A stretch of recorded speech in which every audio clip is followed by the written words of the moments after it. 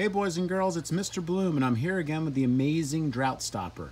Uh, the last time we spoke, I showed you how the amazing Drought Stopper had the ability to make more water than what I put in. Remember, um, I added water up into this funnel area here and then we recorded how much water came out. Uh, we collected it and recorded the amount and more water than what I put in came out which made it appear as if the amazing drought stopper could produce or make water, stopping worldwide droughts. Unfortunately, um, that's not the case. This thing cannot actually make water, so my invention is not going to make me rich or famous anytime soon.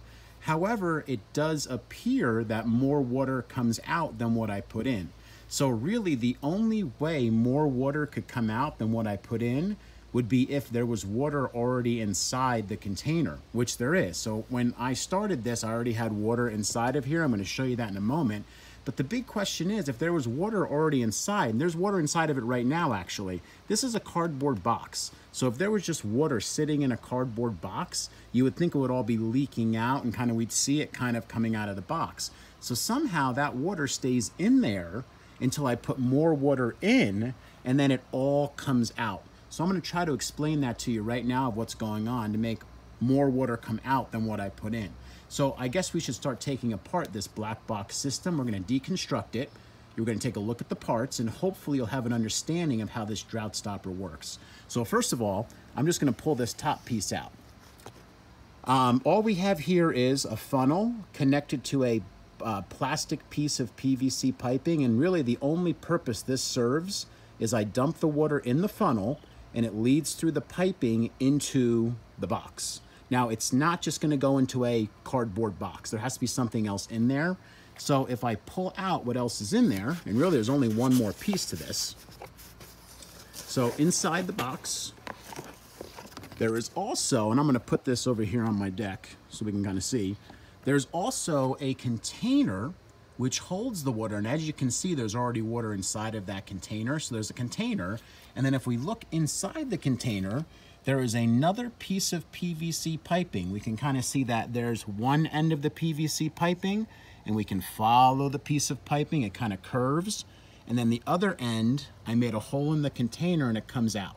So this is one end of the piping, back through the container, it kind of loops, and there's the other end right there. Now this PVC piping, which curves and comes out of the container, um, is gonna be a big piece of why this works. So as we can see, right now, there's some water in the container. However, if you look closely, notice that the water level is not covering the piece of PVC piping.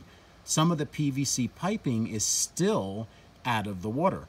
Okay, so that plastic piping sticks out a little bit. Okay, it's not completely covered. Now, when you came in, okay, to watch this, this is how it was set up in the box. There was some water already in there, but it's not coming out. So that's a problem. Like we, it's not coming out. You'd figure just be pumping out and be going all over the place, but it's not. Something has to happen for that water to come out. So basically what I did is I dumped water in and when I dump water in this, in order to activate and make that water come out, I have to cover up that piece of plastic piping. So you're gonna notice when I dump water in this, when the water level rises and that piece of plastic gets covered, all of a sudden, all the water inside is gonna start pumping out and that will include all the water I keep putting in. It will not empty until I stop dumping the water inside. Okay, now this system, this black box system um, works because of this piece of piping and that piece of piping is called a siphon. That is spelled S-I-P-H-O-N. Maybe you've heard that word before.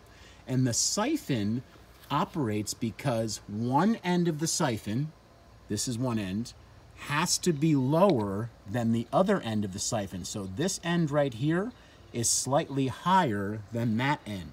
This is the lower end. Inside that end is the higher end. So there's a height difference. If they're the same height, it won't work. So that's one thing that has to happen.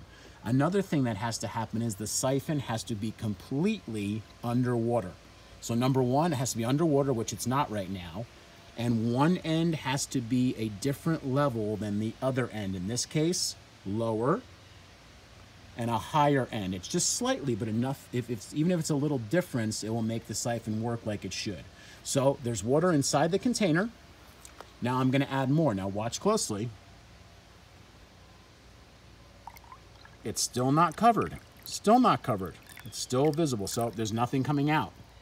Now watch as I keep going. I'm gonna come try to give you both views here. I'm gonna cover it up. Here, here it goes. Covered. Boom, look at that. Now it's coming out. And I'm just gonna keep, I'm gonna dump this whole container in here. It's gonna, you see it's full. And it's just gonna go.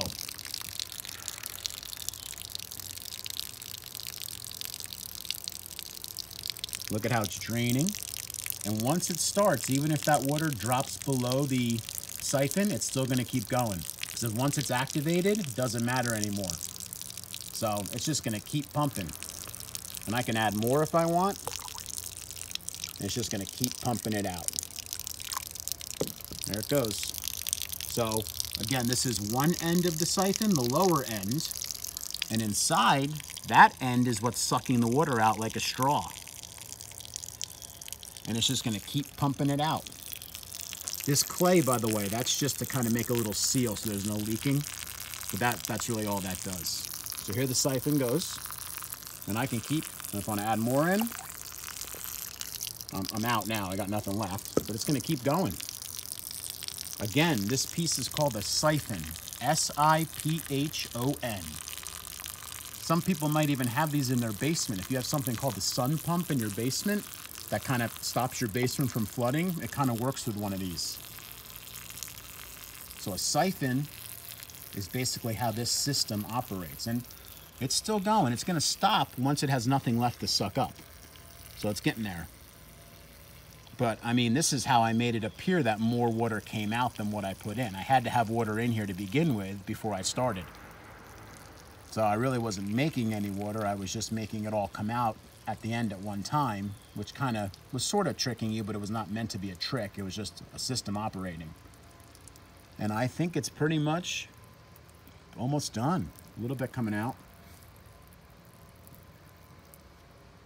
And it's basically pumped out the entire system. All right, so this is how the drought stopper worked. Again, it had this one part with the siphon inside, and it siphon's that tube. One end has to be higher than the other and it has to be completely underwater or submerged is a good scientific word for it to work. And then I just had this other piece, which is really not that important. just kind of put the water in to let it operate as well. So again, the amazing drought stopper can't really stop droughts. It just worked the way it did because of that siphon. Right, so hopefully now you have a better understanding of how it works. Also, you can check this out in written form. The explanation is also posted on Google Classroom.